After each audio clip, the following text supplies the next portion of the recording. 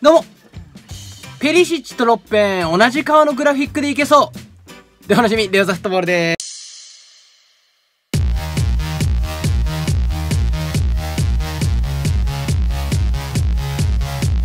始まりました。トークザフットボール。本当はですね、今からやる動画だけの一本の予定だったんですけど、今日はですね、そのユーロ離脱のニュースが出ちゃったっていうことでね、あの、さっきの動画上げまして、それでですね、ユーロの良さなんかするって言ってましたんで、これ約束破るわけにはいかないだろうっていうことで、えー、心に夢中って、え2本目上げてるわけですけど、ただですね、あの、今はユーロ離脱に関するいろんなね、あの、ニュースまた入ってきたんですけど、いろんな国がですね、あの、国民投票をやれとかですね、そういうふうにあの、ユーロ離脱に向けて、あの、まあ、今溜まってた不満がですね、イギリスが行動に起こしたことによって、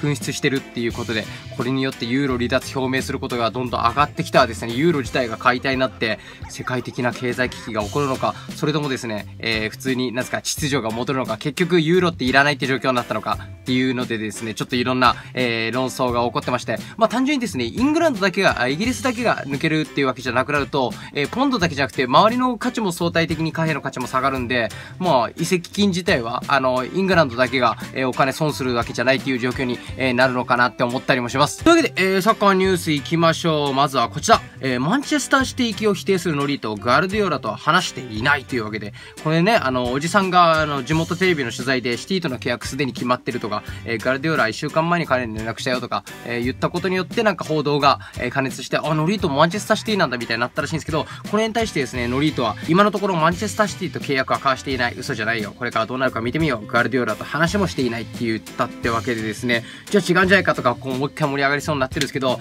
これですね、契約交わしてないだけで、最終契約にサインしてないだけで、もうほぼ話決まってて、それをおじさんに言ったら、おじさんがテレビ局言っちゃったっていうので、こういうのってね、あの、契約決まるまで言っちゃいけないとか決まりあるんで、えー、それの火消しに躍起になってるんじゃないかっていう感じになってました。ノリートとしてはね、うわ、おじさんに言わなきゃいけない、よかった、みたいな。うわ、あのおじさん口軽かったんだよな、そういえば、みたいな。法人時からベラベラ喋ってたもんな、みたいな。ね、ノリとからしたらね。っていうか、あのおじさんに言ってないけど、ああ、おばちゃんに言ったからおじさんに伝わったのか、みたいな。なんか、いろいろありそうだなとか思いつつ、まあね、シティ行きが現実味を帯びてるんですかね。僕としては、ほんとバルセロナノリと取るべきだと思いますね。ノリとか、ペドロ。うん、本当にですね、あのあのポジションの選手で攻撃でアクセントつけれて、なおかつ守備もしてくれるっていう、前のシーズンね、やっぱりあの、コンディションが、えー、ネイマール落ちた時期で左にね、えー、置ける選手がいなくて、まあ結局ね、ネイマールを外してまで置ける選手がいなかったっていうのが、えー、あの状況を招いたんで、参加を逃した状況を招いたんで、僕はね、あの、アルタトゥランとか、ね、あとイニエスタはそこに使って、セルジロベルトをイニエスタの位置に使ってとかね、そういうことして欲しかったんですけれども、まあネイマールのね、あの、バックアッパー兼スタメンの座を脅かせるような存在が欲しいっていうわけで、ノリートほど的確な人材いないと思うんですけどね、カットインからのドイブーシュート、厳しいのかもしれないですけど、まあペドロよりも今のサッカーだとノリートの方が独力での突破があるんで、うん、バルセロナ最後まで頑張ってほしいですけど、これも取れないんでしょう。まあバルサで控えになるぐらいだったらね、その政治的なあれもありますし、いくら頑張ってもネイマールだったら、ね、えー、ノリと使われないかもしれないっていうわけで、そうなってくるとね、こう、ちゃんと評価してくれる、えー、バルサの B チームだった時にね、あの、監督やってたガールディオラのところに行きたいのも、えー、必然だと思いました。そして皆さんの質問いきたいと思います。つむともきさん、イングランドが優勝するにはズバリ誰が活躍しなければならないですかというわけで、まあね、あの、フォワード陣で言うとケインとかバーディーとか、あとスターリング調子悪いなんか言われてますけど、僕はですね、イングランドが当たってきた相手的に、相手にボールを持たれる展開っていうか、こう、なんですかね、主導権を握られる相手がグループリーグ少なかったと思うんですよね。ウェールズに対してもほとんど攻めてましたし、えー、なってくると、イングランド初戦の相手がアイスランドなんで同じような戦い方でいいと思うんですけど、えー、反対側からフランスが上がってくるとしたら、やっぱり主導権握られた戦いになると思いますんで、やっぱ僕よく言うイングランドのセンターバック陣のね、えー、サイドからの低いボールに対する対応とか、そこのマーカー見失う癖とかありますんで、でそうなってくるとですね、ゴールキーパーのスーパーセーブ必要になってくると思うんで、僕はそこでですね、時折超反応を見せてマンチェスターシティをたびたび救ってきたハートですね。ハートが一番活躍するのがイングランドの躍進には必要だと思います。続いてこちら、フェルナンド・トーレスさん。実際にサッカーやってるんですが、レオさんから見ていいフォワードの動き、いい裏の抜け方教えてください。見本になる選手はというわけで、えー、フォワードの、まあ、どの選手を見たらいいかっていうので言うと、僕はですね、えー、ルイス・スアレス、えー、が、え非常にいいと思います。なんでかって言いますと、えルイス・スアレスの場合ですね、ねえ前線からのプレッシングもいいですし、あと裏に抜ける動きをですね、ちゃんとディフェンスラインの方にこう、飛び出しちゃってそのタイミングが狂ってもこう戻ってもう一回動き直す、え動きをたくさんするんですね。そこが非常に素晴らしいと思いまして、なんだったらオフサイドライン、えー、もう出てるところで待ってて、味方の選手がパス出せるようになった瞬間に、えー、オフサイドライン、えー、オフサイドにならない場所に戻るんで、相手のディフェンスがですね、ずっと注意を、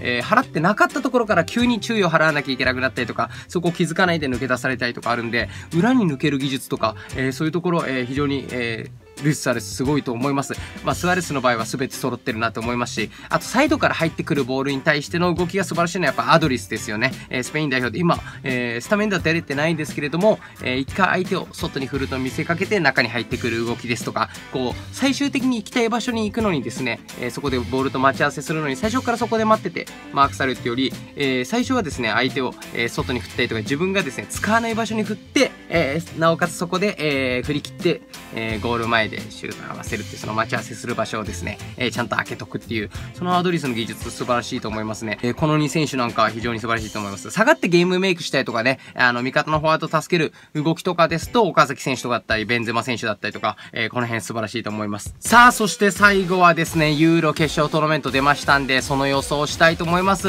えー、今撮ってるですね、時間、えー、9時50分というわけで、もうスイス戦が始まりますんで、えー、スイス戦に関してはですね、えー、もう見るのほぼ諦めて、え、この動画を撮ってます。そのトーナメント表、こちらです。ダンはい、えー、じゃあこの8試合全部予想していくわけですけども、予想してね、あの、外れて外れちゃっただけだと、ちょっとつまんないかなっていうふうに思いましたんで、えー、この8試合、えー、勝敗予想して、外れた分だけですね、えー、僕が心の奥にしまっとこうと思った秘密をこの動画で発表するっていう、ね、最終的に8個発表しなきゃいけない状況もあると思うんですけど、ね、本当に言いたくないやつをちゃんとチョイスして、えー、言いますんで、えー、皆さん、えー、注目して、えこの動画 見といていただけたらというふうにえー、思います。なんでね、言いたくないんでね、これ本気でいきたいと思います。ではまず行きましょう。スイス対ポーランド戦。ここ難しいところなんですけれども、えっ、ー、と、ポーランドはですね、えー、今回、えー、2勝1分けでですね、ドイツを0点で抑えてるわけですね。ドイツのですね、あの組織だった攻撃、まあ、ちょっとね、違うなところはあるんですけれども、でもそれでもですね、スイスの選手より、えキックの精度だったりとか、えプレーの質なんかは、えドイツの選手が高いと思いますんで、そのドイツを0-0で抑えれたポーランドランドがスイスに負けるかなという、スイスに失点すごいするかなっていうふうに、えー、思ってまして、ここはですね、勝利ポーランドの方に上げたいと思います。それで次ですよね。クロアチア対ポルトガルですね。これどっちかというので僕はクロアチアですね。グループリーグで見せてるサッカー、素晴らしいですね。守備の組織が、えー、統率取れてますし、えー、ちょっと悪いとこあってもすぐに修正する能力があります。えー、ポルトガルのですね、個人技頼みのサッカー、えー、それぞれがですね、空けたスペースに対して入り込むっていうよりも、それぞれのドリブルでの突破力とかを、えー、生かすサッカーですと、まあ、最後のね、ハンガリー戦でがむしゃになった時は良かったんですけど、それが出ない場合、クロアチアが、うん、順当にってね、えー、始まる前だったらこれ順当にって言葉にはなってなかったんですけど、グループリーグの、えー、勝ち進み方見てますと、順当にクロアチア、えー、マンジュキッチ、モドリッチ復帰するんで行ってくれるんじゃないかって思ってますし、あと一番の理由がですね、ポルトガルはですね、えー、サイドの守備でウイングが戻んない傾向があるんですね。特にクアレスマとか使われた時クアレスマ、えー、何、えー、クリスティアーノ・ナードとかの、まあ、特に後半とか戻りが少ないとこありまして、そうなってくるくると、ペリシッチだったり、プロゾビッチだったりとか、この間のピアッツだったり、こう、サイドの選手たちですね、スルナとかも上がってきまして、そういうところを抑えられる感じがしないんですね。なんでサイドの守備の強度だったり言ってもクロアチアですし、ただ一つ懸念があるのがですね、ポルトガルがカルあのクリスティアーノ・ロナウドが調子上げてきてるのプラスパトリジョっていうですねあのクラあのポルトガルのキーパーが非常にいいんですね。あの3失点しましたけど、えー、運悪かった感じがありますんでハンガリー戦は。なんでそうなってくるとこういう大会ってキーパーが当たってるチーム強いんでここでですね序盤にビッグセーブなんかを連発して勢いに乗るとポルトガルがですねクロアチアがいい攻撃してるのに、えー、決めれないみたいになりまして最終的にクリスティアーノ・ロナウドが決めていくんじゃないかっていうの怖さもあるんですけどもここはですねもうクロアチアが僕決勝まで行くと思ってますんでクロアチア、えー、押したいと思います。そしてウェールズ対北アイルランドですよね。ウェールズがですね攻撃に人数かけて攻めるっていうよりもあの前線の選手ですね。ラムジーだったりベールだったりのポジションチェンジだったりとかそういうスピードを生かした攻め方をしてくるんで北アイルランドみたいに引いて守る相手に対してどうだろうっていうところがあるんですけれどもただベールのフリーキック、えー、今回すごい当たってますんでそうなってくると北アイルランドですね、えー、そういうスピードに対する対応でやっぱり何回かはね、絶対ベールととかファールで止めなきゃいけなかったりとか、そういうシーンがありますんで、そこからのセットプレーで、あの、北アイルランド、得点力あるチームとは言えないんで、そのロースカーゲームになってきて、ウェールズが1対0、とこうやって勝つのかなというふうに思ってました。ここウェールズにしました。そしてハンガリー対ベルギーですよね。ハンガリー非常に、えー、嫌い中心に守備が組織されてるなと言われてますけど、やっぱりですね、ポルトガルと当たった時に、やっぱり個人のですね、えー、キックの精度が良かったりとか、プレーの質が高い時に、そこじゃ、えー、その、なんすか、え、選手たちの頑張りだけじゃどうにもなんない部分がありまして、そうなってくるとですね、ベルギー、やっぱデブライネだったりとか、えー、アザールの精度が良くて、なおかつルカクがですね、どんどん調子上げてきてるんで、で、引いて守ってもあの、ナインゴラのミドルシュートとかね、前回ありましたけど、そうなってくると、いくらですね、守備の組織が良くてもですね、やっぱここベルギーのタレント力が勝つんじゃないか。ベルギー1戦目、イタリアに負けましたけど、イタリアがですね、えっ、ー、と、ラインをむやみに下げない、えー、前で守備できてたとこありますんで、そうなるとですね、えー、ハンガリーみたいに、えっ、と、最初のミッドフィルダーのラインが、え突破されやすくて、そこで、えガンガン、え攻められたりとかしますと、この間のポルトガルと似たような展開になりますんで、えクリスティアーノ・ロナウドに決められたゴールをルカクとかに決められてしまうんじゃないかなっていうふうに、え思ってます。そしてドイツ、スロバキアですよね。スロバキア非常にあの硬い守備で、えー、守りきる価値なんかあるかなって思ってるんですけれども、スロバキアの最後にイングランドと戦った時はですね、イングランドがターンオーバーしてるせいもあって、サイドからのクロスとかですね、えー、質の高いボール入ってこなかったのと、プラスですね、あの、ミドルシュートなんかも、えー、精度を変えてたりとか、そういうところがありましたんで、えー、スコアレスの展開になったかなと思いまして、そうなってくると、ドイツにはですね、キックの性能の高い選手が非常に多いですよね。クロースだったり、エジルだったりとか。で、プラスマリオ・ゴメスがこの間得点取ったっていうので、勢いに乗ってまして、ここどっちが使われるかなんですけど、僕はですね、えっ、ー、と、ドイツ、スロバキアだとドイツが主導権握る展開が多いと思いますんで、右にキミヒを使ってきた場合、よりあの、サイドからクロスの高い、精度の高いボールが入ってくるんで、えー、スロバキア守りきるのは大変かなと思いまして、まあ、そのキミヒの裏をつけるのか、そこをボアテングがどれだけカバーできるのかっていうところで、まあ、ドイツがですね、攻め切って勝てるんじゃないかって僕は思ってます。えー、そしてイタリア、スペイン、ね、もうやっぱりバルセロナを中心とした攻撃も代表チームとは思えないぐらいですね、えー、他のチームと比べて、え連携がしっかり取れてます。もうほんと攻撃の戦術と守備の戦術の戦いっていう感じになるんですけれども、スペインはですね、やっぱ今言ったようにバルセロナ中心の、えー、攻撃陣っていう話を、えー、していまして、えー、バルセロナのですね、あの、引いた相手でこう、サイドへのね、こうゾーンプレス、こうちゃんとね、連動した守備ですか、こういう横にスライドしてスライドして、え真ん中の選手こう開かないようにサイドの選手がこう寄ってきてっていう守備に対して、こう、サイドにこうどんどん振り続けることによって、そのサイドの守備を追いつかなくしてっていう攻撃の仕方があると思うんですよ。それをですね、スペインの場合は1個飛ばしのパスですね。えー、例えばイニエスタからブスケツ経由するところを、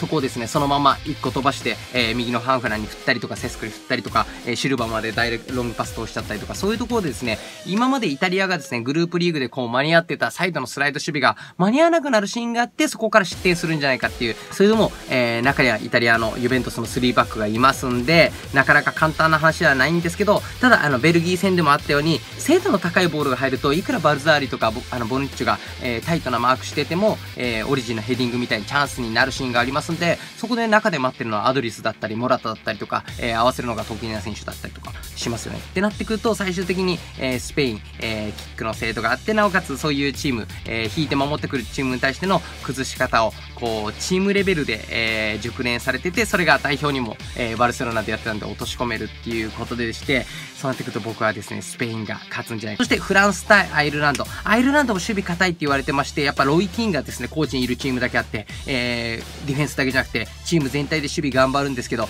えっ、ー、と、ラインが、えー、下がりすぎる、えー、傾向があるのと、えー、下がった時にですね、ミッドフィルダーとディフェンスラインのスペースが空いて、そこの間を使われる時がありますんで、うん、パイエが突破した後にそこに飛び込んでくる、うん、マテュイディだったりとか、そこに飛び込んでくるマテュイディだったりとか、あとね、あの、前の試合で決めたグリーズマンみたいに、えー、そういう風にですね、ライン下がった時にヘディングで、えー、決めれる選手がジルーだったり、えー、いますんで、グリーズマンだったり、